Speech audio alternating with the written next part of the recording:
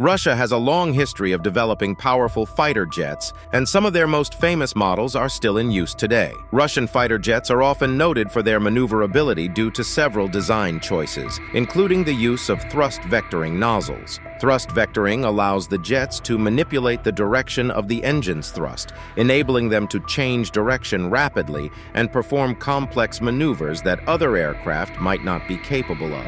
Historically, Russian design philosophy has sometimes prioritized maneuverability over other characteristics like firepower, which contrasts with some Western design philosophies that emphasize energy maintenance and efficient maneuvering in combat situations. This focus on maneuverability is evident in Russian aircraft such as the Su-30 MKI, Su-35, Su-57, and MiG-35, which feature advanced thrust vectoring capabilities. However, apart from that, a pilot's skills are also a determining factor when flying a fighter jet.